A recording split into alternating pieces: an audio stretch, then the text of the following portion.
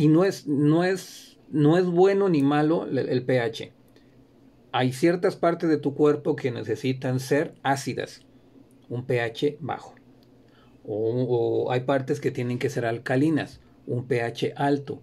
Vamos a llamar alto cuando son arriba de eh, el neutro es 7, entonces un pH arriba de arriba de 7 sería ácido, sería alcalino, un pH abajo de 7 es ácido, ¿sí? Esto se aprende en la escuela.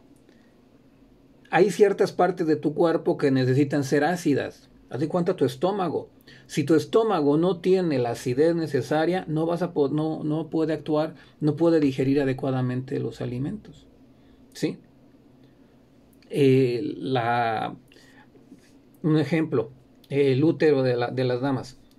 Si no tiene el pH adecuado, pues hay virus y bacterias, hongos que, atacan esa parte.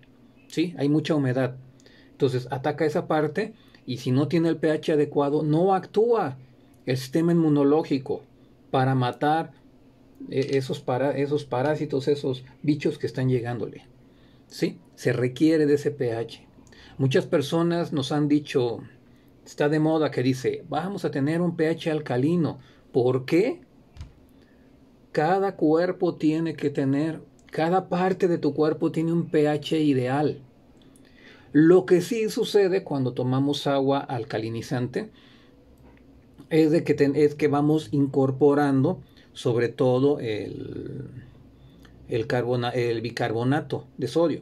Tú tomas bicarbonato y vas a guardar moléculas de bicarbonato en tu cuerpo cuando sean necesarias, aparecen. ¿Sí? Se van a ir guardando. El bicarbonato es normal en tu cuerpo. ¿Sí? Entonces, algo que se volvió muy famoso porque Otto, un, científico ganó el, premio Nobel, Otto Guardo, bueno, no, no sé pronunciar bien, pero él ganó un, un, premio Nobel porque él estaba hablando de que las células cancerosas se desarrollan en lugares donde está muy ácido, ¿sí? Pero eso no lo no determina el cáncer, no lo determina todo eso. No es el pH el que determina si hay cáncer o no hay cáncer. ¿Sí?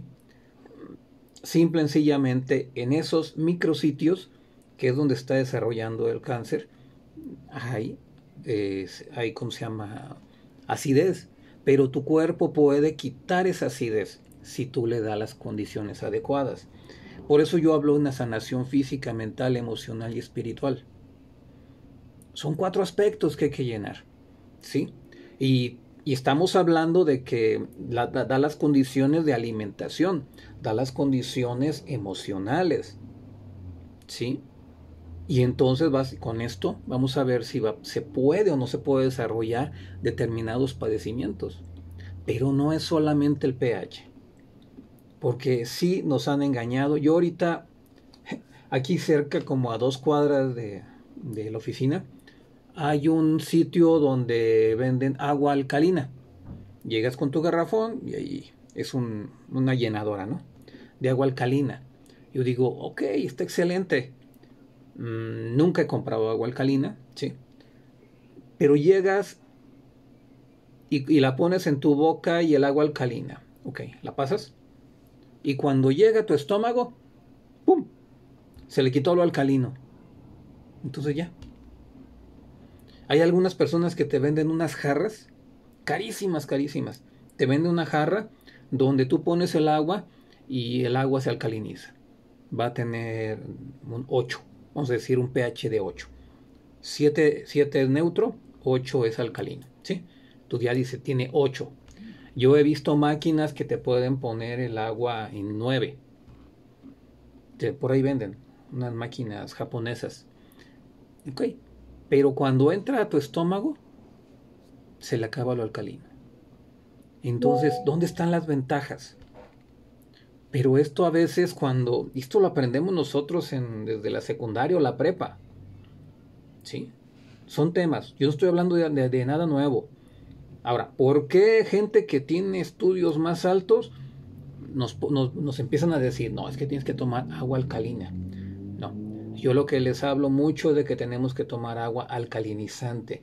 Yo les hablo mucho de que tenemos que tomar agua que tenga, eh, que tenga electrolitos, que tenga elementos que tu cuerpo pueda aprovechar después para poder desempeñarse adecuadamente.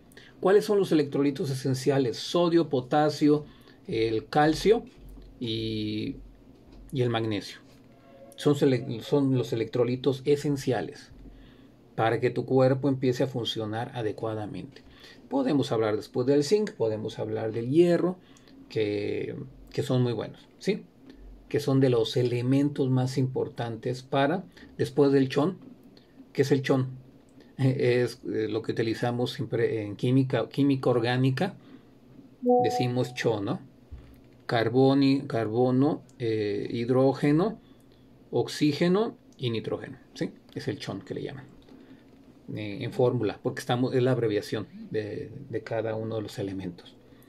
Entonces, el pH es importante, porque si se baja el pH en ciertas partes de tu cuerpo, empieza a no funcionar adecuadamente.